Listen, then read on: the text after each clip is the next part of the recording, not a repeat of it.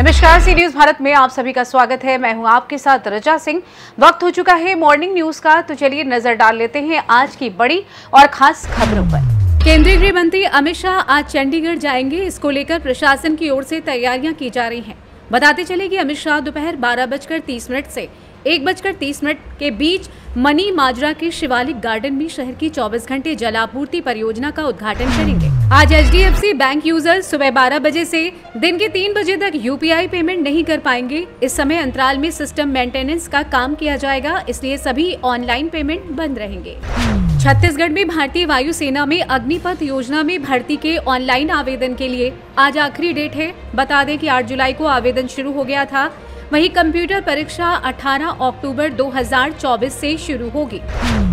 भारत और श्रीलंका के बीच तीन मैचों की ओडीआई श्रृंखला 2 अगस्त 2024 से शुरू हुई थी।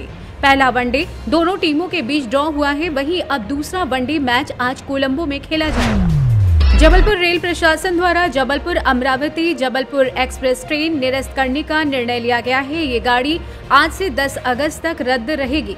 बता दें कि नॉन इंटरलॉकिंग कार्यों के चलते ट्रेन रद्द की गई। उद्यान निदेशालय कृषि विभाग द्वारा गत वर्षों की भांति इस वर्ष भी संस्कृति एवं समृद्धि का उत्सव मखाना महोत्सव 2024 का आयोजन किया जा रहा है। बता दें कि ये महोत्सव बीते कल शुरू हुआ और आज इसका समापन होगा। इस उत्सव का उद्घाटन बिहार के स्वास्थ्य एवं कृषि मंत्री मंगल पांडे के द्वारा किया गया। आज छत्तीसगढ़ में हरेली का त्योहार मनाया जाएगा। इस त्योहार से ही राज्य में खेती किसानी की शुरुआत होती है। बता दें कि आज किसान खेती किसानी में उपयोग, आने वाले कृषि यंत्रों की पूजा करते हैं और घरों में माटी पूजन होता है। पिछहत्तर दिनों तक चलने वाला विश्व प्रसिद्ध बस्तर दशहरा, इस साल सतहत्तर दिनों तक मनाया जाएगा। आज से पाठ यात्रा विधान पूरा कर दशहरा पर्व की शुरुआत होगी। वहीं 19 अक्टूबर को मावली माता की डोली की विदाई के बाद पर्व खत्म।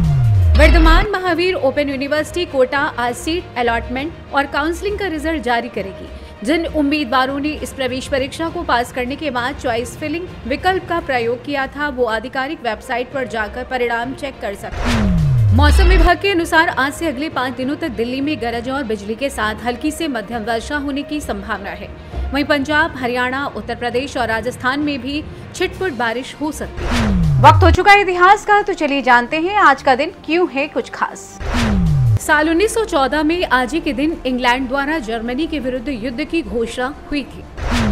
साल उन्नीस में आज ही के दिन भारतीय गायक और अभिनेता किशोर कुमार का जन्म हुआ था। साल उन्नीस सौ सैंतीस में आज ही के दिन भारत के प्रसिद्ध इतिहासकार काशी प्रसाद जायसवाल का जन्म हुआ था। साल 2001 में आज ही के दिन रूस व उत्तरी कोरिया में सामरिक समझौता हुआ था। साल 2004 में आज ही के दिन नासा ने एलटेक सुपर कंप्यूटर केसी को कल्पना चावला नाम दिया। मॉर्निंग न्यूज़ में बस इतना ही। देश दुनिया की तमाम खबरों की जानकारी के लिए आप देखते रहिए सी न्यूज़ भारत। हर खबर आपके साथ, आपके हाथ।